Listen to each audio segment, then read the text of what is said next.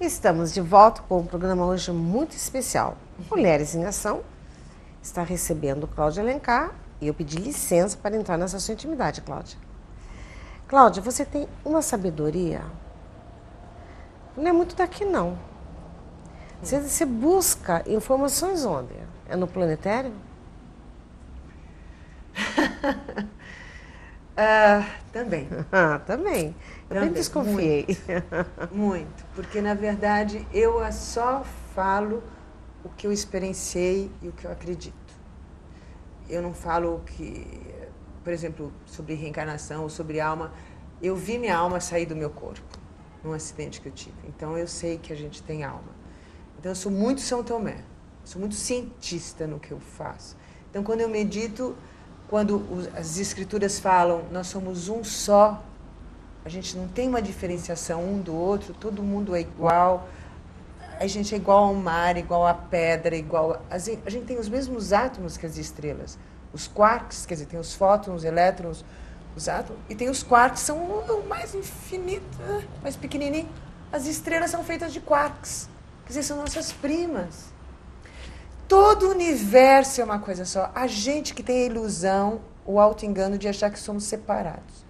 E eu, numa grande meditação, eu me senti igual a uma montanha. Eu comecei a relembrar, chorar aquele sentimento que eu era igual, que nós éramos uma coisa só. Eu falei, voltei à cidade da felicidade. Falei, meu Deus, como é que eu perdi esse sentimento do mundo?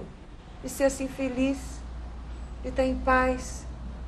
Que o nickname da felicidade, para mim, é, é paz interior. Aí, então, é através dessa, dessa conexão que você. Os iluminados, os siddhas, eles estão nessa conexão o tempo todo, né? Eu, como sou uma mera mortal, eu fico assim, indo e vindo. Quando eu falei da sabedoria, vamos trazer agora para a nossa realidade. Todo esse cuidado hoje que você está colocando, inclusive eu aprendendo sobre o corpo, sobre as células, como é esse seu trabalho? É, é muito simples, na verdade. Porque o que a gente faz o dia a dia, Bernadette, faz a gente ficar mais saudável, mais jovem ou menos jovem e mais velha. Isso no dia a dia, qualquer ação. Desde a ação invisível, que é a ação do pensamento. Então, desde o que você pensa, o seu cérebro já pega o que você pensa. Então, se eu me vejo pensando uma coisa ruim, eu já. Oh, você precisa estar consciente do que você pensa. E fala assim: não, não, o pensamento sai, vai para onde for, volta. Ai, que dia lindo, como eu estou bem, eu estou bem. Aquilo que eu pensei foi uma besteira. Porque a gente é, foi formada numa sociedade judaico-cristã de muita punição, de muita culpa, de muita crítica. Então eu tento não me criticar, eu tento não criticar o outro, aceitar a vida como ela é, aceitar mesmo, sem julgar, nem que é bom nem que é ruim. Ah, pô, ganhei tanto dinheiro, que bom. Não ganhei tanto dinheiro. Ah, fraturou a perna. É, fraturei a perna. Ah, isso é ruim. Falei, não, fraturei a perna. Então, a, eu acho que a aceitação é, é uma das, das grandes questões. E você ter bons hábitos, hábitos virtuosos, éticos. Além disso, ter um bom sono. Então vamos para a coisa prática. Então, Berenice, o sono, por exemplo, eu descobri isso há, há, há pouco tempo atrás, uns cinco anos atrás, que o sono é fundamental para o rejuvenescimento. Um bom sono, que te traz o GH, que te traz, uh, enfim, todo o seu é só a bateria, você recarrega a sua bateria num bom sono. Então, você dormindo, o primeiro sinal é 6 horas, quando realmente o sol vai embora. Depois às 8 horas, mas às 10 e meia é muito bom a gente dormir às 10 e meia. A gente não consegue dormir nem às 6 nem às 20. Não, né? não vai, isso é uma ilusão. Mas às 10 e meia, 11 horas, final de semana, você pode eventualmente, enfim, e vai jantar e vai fazer tudo. As coisas esporádicas na vida não fazem nenhum mal. Mas você sempre dormir tarde faz mal. Né? Eu lembro que quando eu tinha 30 anos eu fazia teatro e dormia 3 horas da manhã, quer dizer, eu era muito mais velha do que sou hoje. Incrível isso. E, então o sono é muito reparador. E quando você levanta, você toma três copos de água, que aí já abre teu intestino, já desintoxica o intestino, já limpa e já tira todo o muco, ele já fica aberto para receber sua. Mas é uma água especial. Que tem é água com pH acima de 7. 7. Isso é perfeito, porque é uma água alcalina. Nosso corpo é todo alcalino Uhum.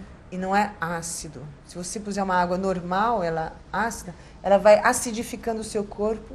Quanto mais ácido o corpo fica, mais velho ele vai ficando. Então nós temos 70% de água alcalina. Então a gente tem que cuidar dessa água. E feito isso, quer dizer, você é que nem essa casa, né? Que eu digo, então você bota a água por dentro, isso já desintoxica, já faz um detox em você.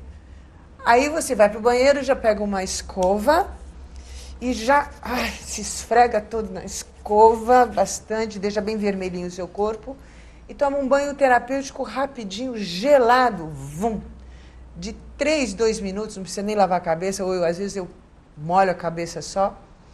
Que, que faz o sangue? O sangue entra todo para dentro, porque faz uma vasoconstrição, entra todo para dentro do seu organismo. Quando você sai do banheiro, a temperatura é maior, ele vai para fora e já tudo que ele pega de toxina, ele já elimina pelos poros. Então você já sai desintoxicada de manhã. O que era bom era você escrever também as três páginas diárias para desintoxicar a mente, dar uma meditada e aí começar o seu dia.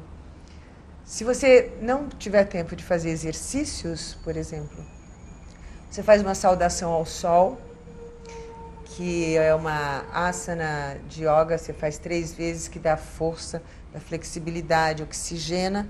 Pronto, não precisa ir para academia. Se você está naquele Ritmo tempo de, é, de trabalho. de trabalho, né? que, é de novela e tal. E o importante é desintoxicar, que isso já te rejuvenesce. E depois caminhar. Se você, por exemplo, se você caminha uma hora todos os dias, você rejuvenesce oito anos. Uma dica, repete isso?